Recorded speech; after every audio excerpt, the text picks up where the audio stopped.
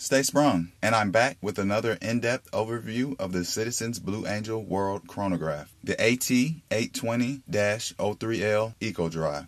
I've seen videos and reviews on this model, but I have yet to see someone cover all the features, not just the ones they are fond of or use. So today this is what I'm out to accomplish. I will start by saying this piece is an atomic timer, meaning the watch automatically synchronizes itself to one of 26 time zones or cities, which are displayed in the rehaut of the inner dial. The watch is also driven by Citizen's Eco Drive system, meaning there is no battery to be replaced, yet a cell pack that needs to be recharged by artificial and or natural light. With these two astonishingly amazing features, the time, day, date, month, and daylight saving times are all automatically set and updated at 2 a.m. every morning. And with the use of a fully charged cell, the watch's power reserve is a mind-bending 183 days. Or with the power save feature active, the reserve becomes 305 days. The Blue Angel is a chronograph with three subdials. Up top is the 60 minute timer, and below on the bottom is the seconds timer recorded at 120th of a second. And on the dial to the left is the 24 hour hand. On the minute subdial, located to the left, is the power reserve level. To the right of this subdial is the daylight savings indicator.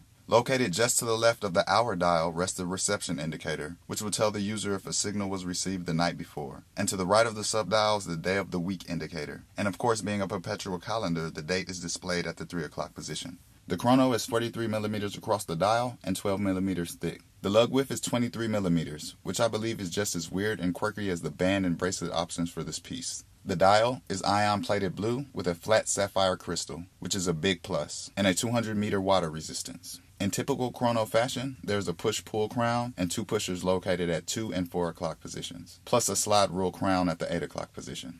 To enter chronograph mode, engage the B pusher located at 2 o'clock. To engage the chronograph, use the B pusher again. To stop the chronograph, push B again, and push again to re-engage the timer for the same measurement. If you stop the chronograph at the current displayed time, it will remain for 3 hours. Then it will automatically reset. To manually reset, press pusher A located at 4 o'clock. Pressing pusher A again will exit the chrono mode and display indicated time. To display the time zone, power reserve, RX reception, and daylight savings time, engage pusher A while in normal mode. The seconds hand will point to the set time zone, the top subdial will indicate the power reserve's level, and the lower subdial will indicate if a signal was received or not. Now here's where things get even more interesting. When changing time zones on this watch, it is as simple as pulling out the crown one click and rotating the crown to the correct time zone. The chrono begins to do a beautiful ballet and the time is set. Then the date begins to adjust accordingly. When traveling between time zones, this little feature is worth every penny. With all the complications and its accuracy, this piece had me completely break and ignore my only automatic watch rule. Not to mention the power reserve, and I definitely get tired of resetting the time on watches I don't wear too often. And even the ones I do must be reset due to the number of days in the month alternating.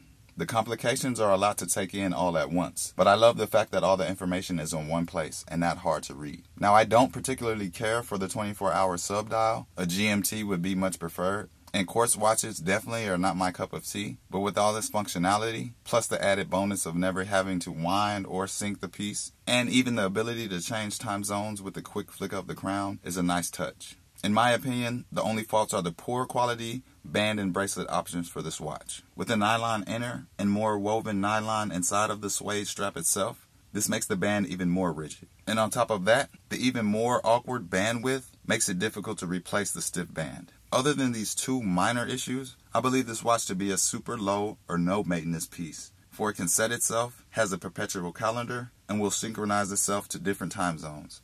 So to say the least, with all its functions, this is one badass watch, quartz or not. If you enjoyed the content, hit the like button and jump down in the comment section and let me know your thoughts on the piece. And as always, please subscribe. And oh yeah, stay sprung.